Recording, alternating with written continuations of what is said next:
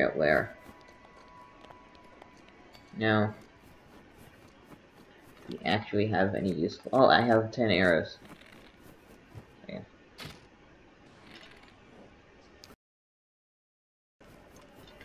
Come on.